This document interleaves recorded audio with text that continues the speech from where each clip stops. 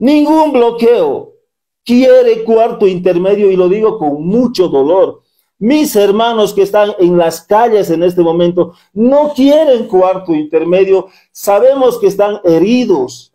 Sabemos que están sufriendo hambre en este momento, frío en los cerros, donde están ocultados, acusados por policías y militares. Pero a pesar de eso, mis hermanos no quieren cuarto intermedio.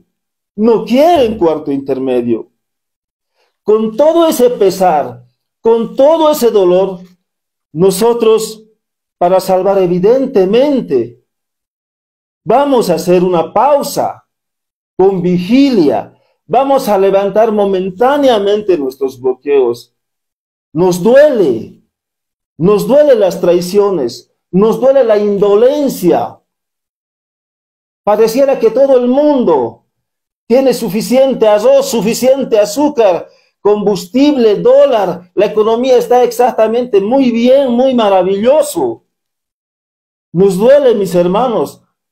Nadie quiere cuarto intermedio, pero por responsabilidad, por humanidad, nosotros tenemos que aventurarnos a lanzar esta pausa en el bloqueo nacional de caminos, pero con vigilia. No estamos abandonando la lucha, hemos despertado más bien la lucha.